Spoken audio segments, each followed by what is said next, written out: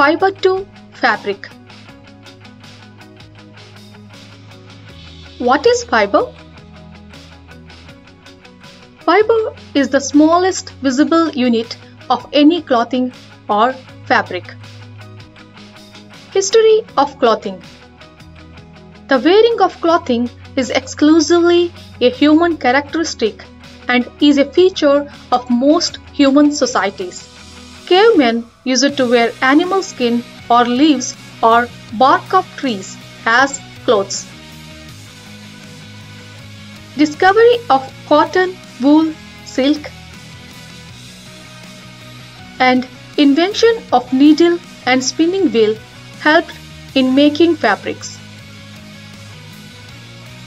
Unstitched cloths such as sari, dhoti, turban are still used in our country.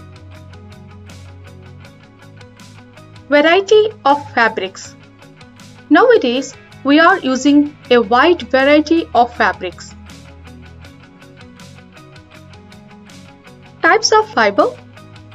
There are mainly two types of fiber. They are natural fibers and synthetic fibers. Let us see the process of creating a cotton fabric. The cotton plant is a shrub. Bolls are the ripe fruits of the cotton plant. The mature fruits burst open and release cotton seeds covered in cotton fibers. The process of collecting cotton from the bolls is called as picking. The cotton fibers are separated from the seeds by the process of ginning. Ginning can be done with the ginning machine or manually. As the fiber is thin and fragile, it cannot be woven directly into fabric. So, cotton fibers are gathered and twisted to make thick, long, strong yarn. This process is called as spinning. Cotton fabrics are processed by arranging different set of these yarns. This process is called as weaving. And it is carried out using loom machines. Dyeing. Dyeing in textiles is a process in which color is transferred to a finished textile or to a textile material like fibers and yarns to add and long lasting color. Jute or bamboo fiber.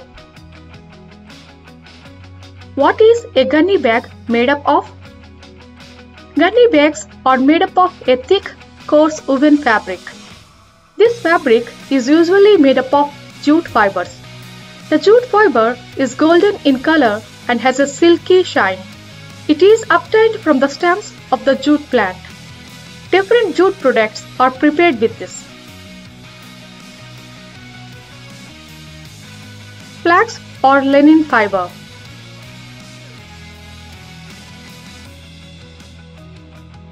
Flax fibers are collected from flax plants. When plants are retted and dry, they are processed. And flax fibers are separated from the stem.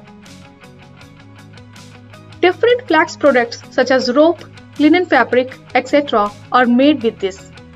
Animal fibers. Two main animal fibers that are used for clothing. They are wool and silk.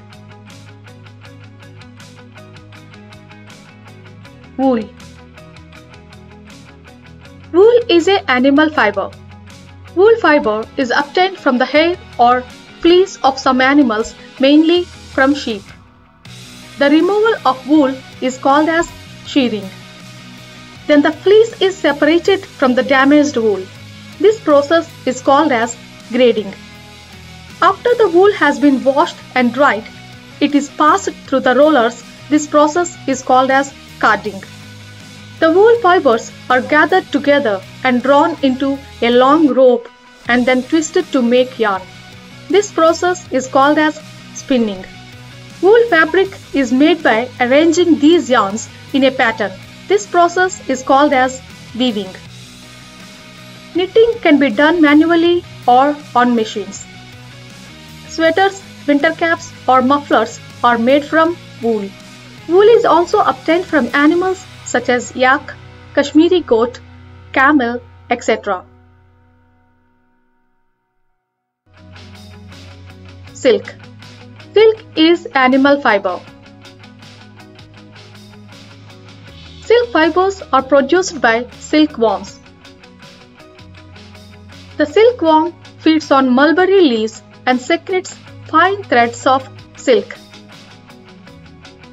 The fine threads of silk are wrapped around the worm in a cocoon. The cocoons are boiled and silk fibers are collected. These fibers are further processed to give silk yarn. The silk yarns are then converted into a silk fabric. Synthetic fibers.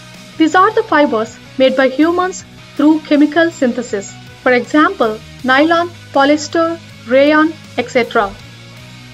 Properties of synthetic fibers are Synthetic fibers are made usually in industries by processing crude oil. The chemical substances obtained from crude oil are heated and forced through very fine pores to obtain long fine threads of synthetic fibers. Synthetic fibers are very strong and elastic. They have properties like heat resistance, resistance to most chemicals, low moisture absorbency, and flame resistance which makes them more useful. They are used to make a variety of fabrics. Synthetic fibers are blended with cotton or wool to make cloth. If you like our videos, subscribe to our channel and like, comment or share this video with your friends. For more video links, check the description box below.